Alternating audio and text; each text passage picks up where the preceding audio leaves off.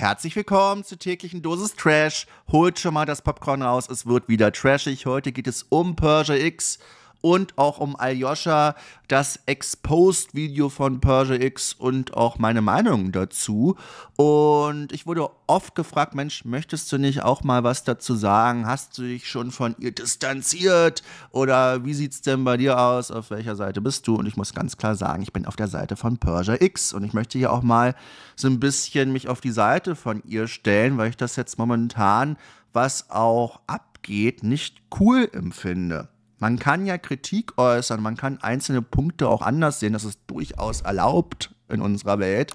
Das scheint äh, gerade in der Meinungsblogger-Szene nicht so gern gesehen zu sein, dass man auch mal anderer Meinung sein darf und kann bei einem gleichen Thema. Oh Gott. Ja. Und es ist dennoch so, dass jetzt Persia X äh, von verschiedenen Leuten ein Exposed-Video abbekommen hat. Und grundsätzlich ist es ja auch okay, wenn man Sachen kritisiert. Da wurden allerdings auch Sachen rausgesucht, die Jahre her sind, die ich schon vor Jahren kritisiert hatte. Und wo ich auch gesagt habe, Mensch, die hat sich doch seitdem wirklich toll entwickelt. Ich habe regelmäßig auf Videos von Persia X auch reacted, weil ich das immer recht wichtig fand, dass eine betroffene Person auch eine sehr klare Meinung zu gewissen Trends oder auch Äußerungen hat aus der Trans-Community, die auch klar kritisiert und auch sagt, ey, das ist gefährlich ich habe das hier durchgemacht selbst und das ist jetzt auch nicht unbedingt erstrebenswert, diesen Weg durchgehen zu müssen. Ich habe das für mich aber als richtig empfunden, bin diesen harten Weg gegangen, wurde auf der Straße schon angegriffen und co. und habe sehr viel für die Transbewegung in Deutschland auch gemacht und das wurde komplett in diesem Video weggelassen und das finde ich einfach nur feige und nicht in Ordnung. Ich möchte euch jetzt eine kleine ähm, ja, Sache aus ihrer Story mal zeigen von Persia X, was auch so ein bisschen aufzeigt, wie die Videos zum Teil ja, aufgebaut sind. Und ich finde es nicht in Ordnung, wie man dort mit ihr umgeht. Klar kann man über einzelne Äußerungen vielleicht diskutieren und die auch als schwierig einordnen, rein theoretisch. Ich muss aber ganz ehrlich sagen, ich fand das immer sehr, sehr wichtig. Zeige euch jetzt aber erstmal diesen kleinen Ausschnitt, ähm, den ich euch jetzt aus der Story von Lynn hier mal zeigen möchte auf Instagram wo man sieht, okay, die Stimmung zwischen Aljoscha und ihr war die letzten Tage schon nicht gut. Auch direkt nach dem Video gab es immer mal wieder ein Hin und Her. Und jetzt geht es anscheinend weiter. Es wird wohl auch noch ein zweiter Teil gegen Persia X geplant. Man will sie jetzt canceln, fertig machen, die schlimmste Person überhaupt. Und äh, das empfinde ich halt auch als äh, ziemlich schwierig. Aber das ist so typisch, äh, diese Bubble. Ähm, wie gesagt, man kann ja einzelne Dinge kritisieren. Man darf auch mal anderer Meinung sein. Das ist vollkommen legitim. Aber ähm, das, was jetzt da gemacht wird, empfinde ich als sehr, sehr unfair, gerade bei einer Person, die es jetzt auf YouTube auch in der Vergangenheit nicht immer so einfach hatte, für die Trans-Menschen ähm, sehr viel getan hat in der Vergangenheit, sehr viel Aufklärungsarbeit, ihren eigenen Weg dokumentiert hat, ja ähm, die komplette Transition kann man von ihr äh, miterleben. Ja, und das ist äh, ganz, ganz wichtig für viele gewesen. Und sie hat auch immer äh, auch das von einem Psychologen, äh, wie man es auch richtig machen sollte, äh, und Ärzten begleiten lassen. Ja, und das wird ja zum Teil äh, schon fast verschrien auf, auf TikTok und Co. von irgendwelchen Größen, die sagen, nee, das kann doch nicht wahr sein. Ja, wenn ihr das nicht nehmen wollt, die Hormonblocker, lasst die halt einfach weg oder nimmt weniger. Ja, ohne dass dann vielleicht vielleicht mit den Ärzten abzusprechen und das ist äh, fatal. Ja, und das muss man auch so aussprechen. Und, und das finde ich ganz, ganz wichtig. Und das macht Persia X zuhauf und das wurde auch wieder, wie so typisch in dieser Meinungsblogger-Szene, weggelassen. Und ähm, anstatt das große Ganze zu sehen und zu sagen, ja, okay, da sind äh, vielleicht ein, zwei Sachen, die sehe ich anders persönlich oder die und die Geschichte in der Vergangenheit fand ich schwierig, die kann man vielleicht auch mal kritisieren im Nachhinein nochmal. Aber äh, nicht zu sehen, was sie da auch alles geleistet hat und äh, wie sie auch einstecken musste, äh, ja, auch körperlich schon angegriffen wurde in der Vergangenheit, das finde ich dann feige, das nicht mit reinzunehmen. Und das ist halt so eine gängige Methode, ähm, habe ich ja auch schon miterleben dürfen, dass man dann Videos abbekommt mit irgendwelchen Kritiken, dann aber die Hälfte weggelassen wird. Äh, Hauptsache, man lässt die Person dann möglichst schlecht dastehen und das finde ich eine Schweinerei und deswegen stehe ich mich auch ganz ganz klar ähm, der Persia X zur Seite. Aber ich möchte euch jetzt mal diesen kleinen Ausschnitt zeigen. Da sieht man auf jeden Fall, dass da der Beef ähm, am Aufkeimen ist. Ich bin auch gespannt, ob äh, Persia X da auch nochmal ein Video plant. Ähm, wenn ihr wollt, kann ich auf dem DaVinci Uncut-Kanal auch mal so eine Reaction hochladen zu dem Exposed-Video, wo sie auch nochmal Bezug drauf nimmt. Ähm, da waren wirklich hanebüchene Dinge mit dabei. Aber ich zeige euch jetzt erstmal die kleine ähm, äh, Geschichte aus der Story. Wichtig, wenn es eine Person auf YouTube gibt, die eine große Reichweite hat, die nichts anderes macht, als systematisch Menschen fertig zu machen, nicht wissenschaftlich zu arbeiten, also Persia zum Beispiel, nie Interesse an einem Dialog, sondern nichts anderes macht, als Mobbing zu kapitalisieren und immer wieder drauf zu hauen. Und dann ist es natürlich wichtig, Grenzen zu setzen. Ich habe dazu ein sehr schönes Reel auf Instagram gesehen.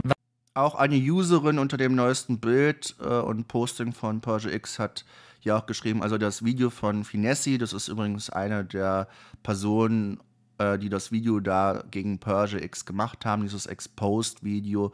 Und es wurde auf dem Channel von äh, ihr hochgeladen.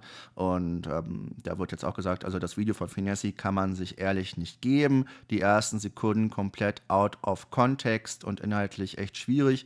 Da sagt mal jemand was Kritisches gegen die aktuellen Entwicklungen und man wird gleich vernichtet.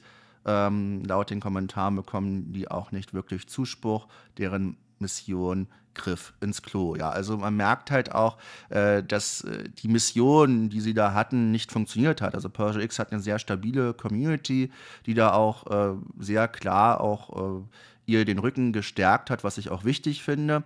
Und äh, ich habe auch das Video da als wirklich vollkommen hanebüchend wahrgenommen. Das kann ich hier nur noch mal unterstreichen.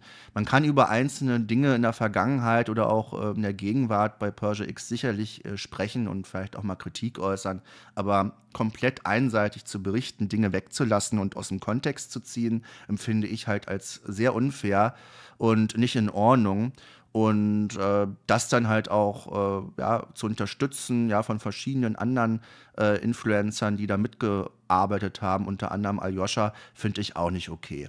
Und ähm, da auch vielleicht noch weitere Dinge zu planen, nur um eine Person jetzt möglichst schlecht dastehen zu lassen, die eigentlich in der eigenen Community ist, anstatt zusammen mit ihr vielleicht einen Talk zu machen und zu sagen, ey, können wir vielleicht mal miteinander reden und ähm, mir ist da irgendwas sauer aufgestoßen, wie siehst du das? Da wäre, glaube ich, Persia X auch ziemlich äh, gerne dabei. Ich hatte ja auch mit ihr ein Gespräch geplant mit dem Pet Player, das war ja auch zum Teil Thema, ja, äh, in diesem Video. Also Persia X hat sich ja nie gegen den CSD geäußert, sondern äh, was da drumherum abgeht, ja, dass da Leute einfach auch mal Sex haben und Co. Und ähm, da hat sich ja Aljoscha auch äh, absolut widersprochen und anscheinend auch gelogen bewusst, denn ähm, sie könnte ja auch belegen, dass das damals wohl so ein bisschen anders war.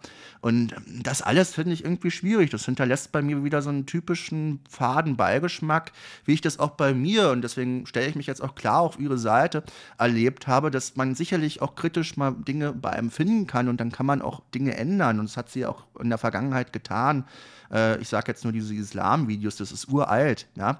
Ähm, warum grabt man denn sowas aus oder irgendwie eine einzelne Aussage, die einen dann vielleicht stört, anstatt vielleicht auch das große Ganze zu sehen und ähm, vielleicht auch zu schauen, wie ist denn da auch was gemeint? Ja? Will sie wirklich was Böses oder will sie wirklich auch bei so einem wichtigen Thema äh, Leute aufklären? Es kann ja nicht sein, dass äh, ja Leute ähm, sich äh, meinen, ähm, da irgendwelche Hormone äh, nicht mehr nehmen zu müssen oder selber dann irgendwie, ohne mit dem Arzt richtig zu reden, dann absetzen oder mal nehmen und mal nicht. Und also das, das ist alles äh, vollkommen verrückt, ja, was ja teilweise auch auf TikTok vermittelt wird. Da fehlen mir hier die Worte. Ihr merkt schon, wie, wie mich das auch selber irgendwie kürre macht, was da teilweise äh, erzählt wird. Und ähm, da muss man halt schon aufpassen. Und äh, es ist wichtig, dass ein Psychologe und auch ein Arzt das Ganze betreut. Das kann sonst wirklich auch bereut werden und so ein drastischer Schritt, diesen Weg überhaupt für sich zu, ja, zu nehmen und um sich dazu entscheiden zu wollen, ähm, dass das äh, ist schon nicht so einfach und das hat Persia X ja nun auch auf YouTube dokumentiert. Von daher darf sie dort auch ihre Meinung haben, die auch vertreten und ich finde das schon sehr wichtig, auch wenn es nicht unbedingt dem Narrativ entspricht äh, von ähm, ja, diesen Leuten, die dieses Video da gegen sie gemacht haben, äh, muss man doch akzeptieren, dass da auch im Fundament ja, vorhanden ist, ja, dass da auch durchaus Punkte bei sind, die sehr wichtig sind. Und wenn man das außer Acht lässt, äh, empfinde ich das als gefährlich. Und ähm, ich verstehe auch nicht so ganz, warum ähm, das da teilweise so vehement auch von Leuten verteidigt wird, was da in diesem Video gesagt wurde. Abgesehen davon, dass auch sämtliche Kommentare ähm, bei Finessi da wohl gelöscht werden, die pro Persia X sind. Weiß ich jetzt auch nicht, ja, ob das sein muss. Also wie gesagt, wenn es sachliche Kommentare sind, die jetzt äh, niemanden beleidigen und die vielleicht auch das Thema unterstützen, ähm, sollte man auch die Kommentare zulassen. Das wird aber zum Teil wohl auch nicht gemacht. Aber nun gut, äh, das ist jetzt erstmal meine grobe Meinung dazu. Ähm, wie gesagt, ich bin jetzt auch mutig, ja, vielleicht lande ich auch im nächsten Video. Äh, mir soll es jetzt aber auch egal sein. Ähm, ich finde es wichtig, da auch mal Flagge zu zeigen und auch zu sagen, ey, das finde ich jetzt echt ein bisschen einseitig und nicht cool, ähm, unter den ganzen Videos von Persia X nur Mobbing rauszulesen und rauszuhören, äh, ist absolut falsch. Ja, und ähm, wichtige Dinge anzusprechen, ähm, gerade auch als betroffene Person empfinde ich als wichtig und richtig, um dieses Meme hier auch nochmal reinzunehmen. Und ähm, das hat, finde ich, Persia X die letzten Jahre sehr gut gemacht und war eine der Vorreiterinnen, ähm, was die Transbewegung in Deutschland angeht. Und das finde ich eine Schande, dass da Leute sich verbünden und alles äh, Negative versuchen, ähm, aus dem Kontext äh, rauszusuchen und aus dem Kontext zu ziehen. Ja, äh, das ist, äh, weiß ich nicht. Das ist nicht, äh, das ist unsäglich und das macht man nicht. Aber gut, das soll es dann für dieses Video erstmal gewesen sein. Ich bin gespannt, was ihr zu dem Thema sagt. Bis dann und ciao, ciao.